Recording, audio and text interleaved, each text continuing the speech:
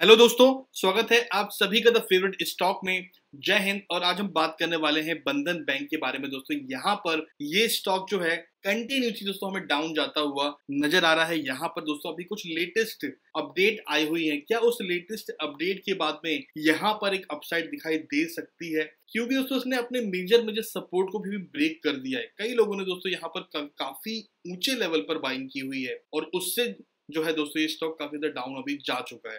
Complete information दोस्तों इस video में लेने वाले इस स्टॉक के बारे में। बने रहिएगा लास्ट तक, काफ़ी कुछ आपको जानने के लिए मिलेगा।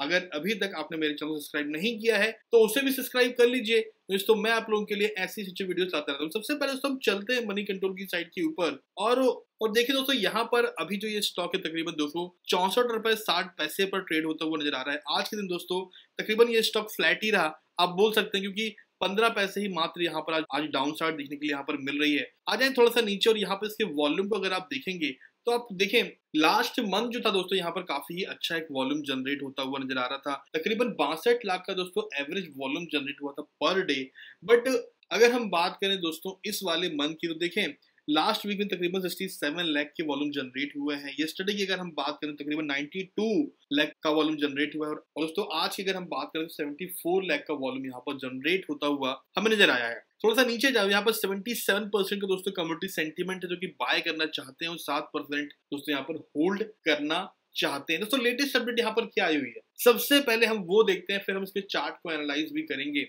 देखिए दोस्तों यहाँ पर लिखा हुआ कि Bandhan bank to invest in digital capabilities as a part of vision 2025 so so, 2025 के बारे में दोस्तों एक विजन लेते हुए ये इन्वेस्ट करना चाहते हैं डिजिटल कैपेबिलिटीज पर। अभी डिजिटल कैपेबिलिटीज मतलब क्या? इसको भी दोस्तों हम अभी समझ लेते हैं। देखिए यहाँ पर जो जो इनके फाउंडर और एमडी हैं चंद्रशेखर घोष उन्होंने दोस्तों इसकी पूरी इंफॉर्मेशन दी।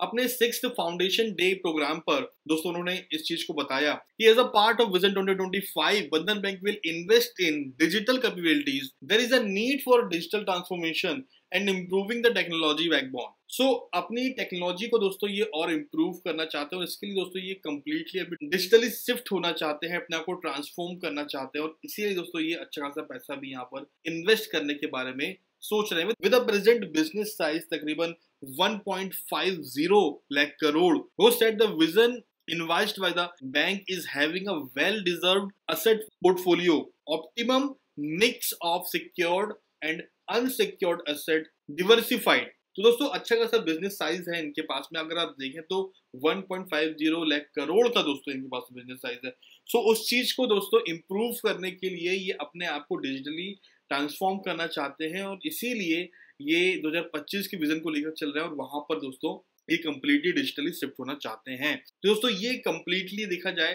तो बंधन बैंक के विजन को बताता है कि किस तरीके से दोस्तों ये ये जो बैंक है अपने आप को कम्प्लीटली चेंज करने के बारे में सोच रहे हैं। दोस्तों हम सभी जानते हैं कि ये जो स्टॉक है पर्टिकुलर वो क्यों नीचे गया था राइट क्योंकि दोस्तों जब से वो आसाम में बाढ़ आई थी, उसके बाद इनका काफ़ी नुकसान दोस्तों वहाँ पर हुआ था। उस चीज़ की भरपाई दोस्तों ये अभी तक नहीं कर पा रहे और वहाँ पर उनको काफ़ी बड़ा झटका लगा था। उसकी वजह से दोस्तों इनके स्टॉक प्राइसेस बहुत ज़्यादा नीचे आ गए थे। अब धीरे धीरे दोस्तों यहाँ पर रिकवरी तो हो गई है, लेकिन इनके स्टॉक प्राइसेस में अभी तक दोस्तों हमें गिरावट देखने के लिए मिलती हुई नज़र आ रही है। अगर आप ध्यान से देखें दोस्तों इस स्टॉक को तो उसने कई बहुत सारे मेजर सपोर्ट को ब्रेक डाउन किया हुआ है।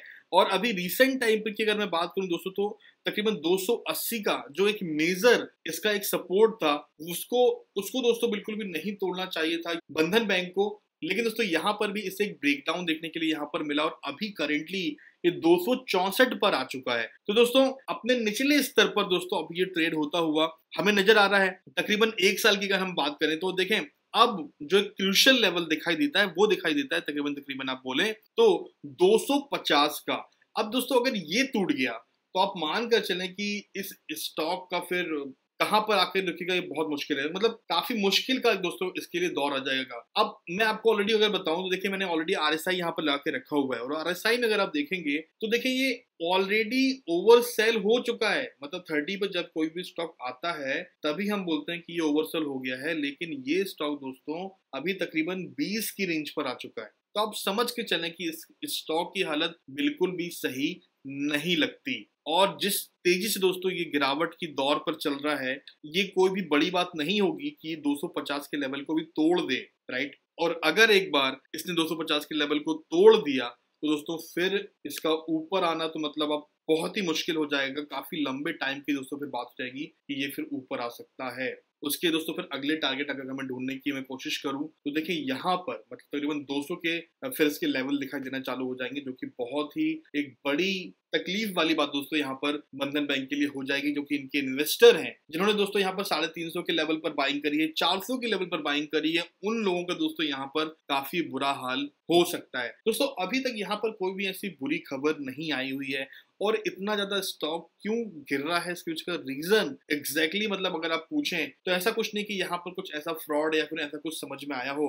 क्योंकि दोस्तों स्टॉक बहुत ज़्यादा करेक्ट हो चुका है। अब देखे ना 420 के लेवल से दोस्तों, ये स्टॉक अभी दो आ चुका है। दोस्तों, आप मान कर चले, तकरीबन ये स्टॉक जो है अपने आधे लेवल पर आ चुका है और अभी भी ये डाउन जाता जा रहा है। और दोस्तों, इसीलिए मैं आपसे बोल कि ये ऑलरेडी ओवर सेल हो चुका है। अभी दोस्तों, यहाँ पर हम क्या करें? दोस्तों मैं आप सभी से बोलना चाहता हूँ कि देखें फ्रेश बाइंग करने के बारे में बिल्कुल भी अभी मत सोचिएगा। हाँ अगर ये 80 के लेवल पर अपने आप को सपोर्ट ले लेता, अपने आप को रोक लेता तो फिर दोस्तों हम डेफिनेटली यहाँ पर बाइंग कर सकते थे और उसने बहुत बार ऐसा किया भी था। देखें, इस लेवल पर, यहाँ पर जब ये स्टॉक था तो मैंने आपको बोला भी था। लेकिन दोस्तों, अब ये ऑलरेडी नीचे आ चुका है।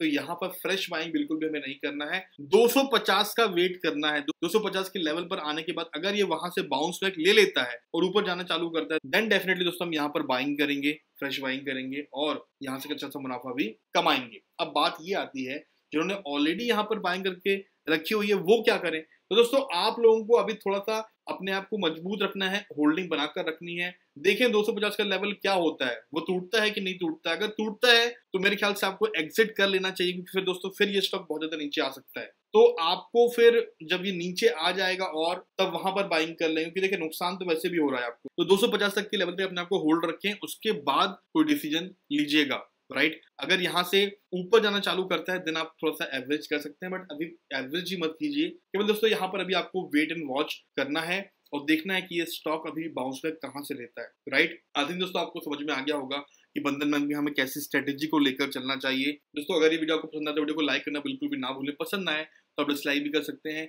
यहाँ तक वीडियो देखने के लिए दोस्तों, आप सभी का बहुत बहुत धन्यवाद। मिलते हैं बहुत जल्द अगले वीडियो में। जय हिंद।